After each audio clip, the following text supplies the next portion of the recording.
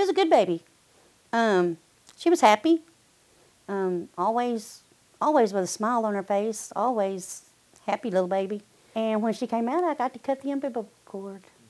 Well, we brought her home and we just played with her and, you know, all that good stuff. It was really good. We were like happy. Barbie was never bonded to Lauren.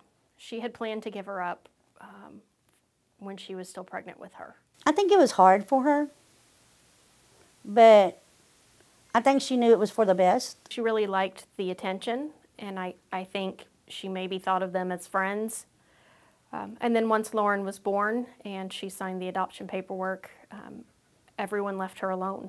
Either Barbie or Barbie's attorney, one or the other called and said that Barbie had changed her mind.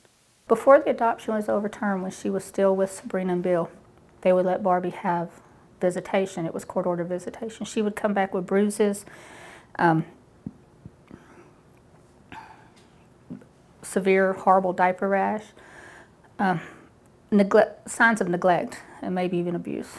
We had pictures. We showed it to the to the judge, but the judge told us, "quote Our pictures did more harm than Barbie would ever do with her kid." Whether it raised it to the level of saying this is a enough of a pattern of behavior that you're going to be able to say this is going to continue and it's going to cause problems, it just wasn't there.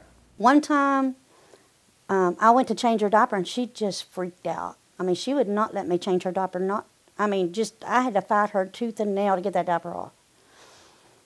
And she was all red and everything, and we'd noticed it before. So um, I took her to a doctor because I thought I thought then she was being molested. And then the doctor told me that unless I was absolutely, positively certain that I didn't need to do the test because the test would, would be very painful. So I didn't want to cause her any more pain, so we didn't go through that. Wish we would have now, but we didn't.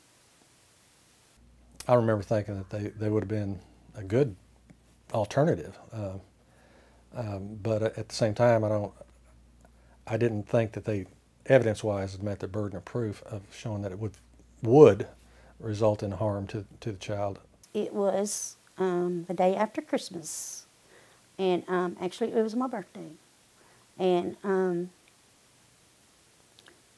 we drove to the Walmart parking lot in Jasper, and we handed her to Barbie, and she was crying, and I was crying, and but we had to do it. We didn't have a choice.